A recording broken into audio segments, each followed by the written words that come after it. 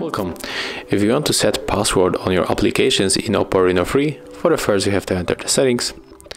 Right now enter right here on the fingerprint face and password. Click on the set oh sorry, click on the set privacy password. Okay. Tab on the one, two, I mean set your password right? And mine will be one, two, three, four, five and six. I'm gonna use it even if it's really common. Okay uh, so right now we have to enter the teacher of uh, name of our teacher but also we can change this question. We can also custom it. I'm gonna type here SD There's no matter what I have to uh, type here. And right now click on the app lock.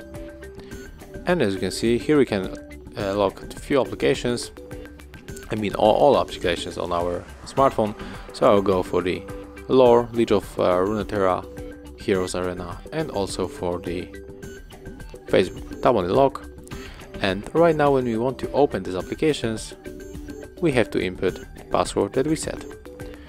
Thank you guys for watching, leave thumbs ups, comments and subscribe to our channel.